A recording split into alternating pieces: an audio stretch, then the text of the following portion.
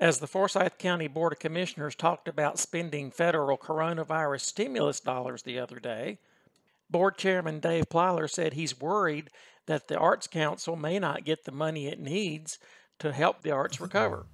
So I just, you know, this, we like to refer to this community as the city of the arts. This could be a, a great year for the Arts Council, or it could be a disastrous year for the Arts Council. My way of thinking, it's, uh, if the city says no, then the Arts Council's got a real serious problem. What Plyler was talking about was a plan for the city and county to each give the Arts Council about half the $5.5 million it says it needs. County Manager Dudley Watts, shown here, told the board that they could always come back later on and give more money to the Arts Council. Commissioner Don Martin said that for now, the county should just wait and see what happens.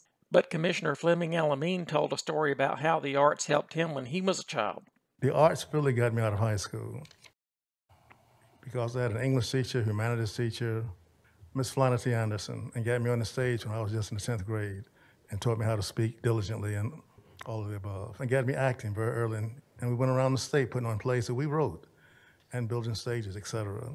So that experience really exponentially advanced my thinking.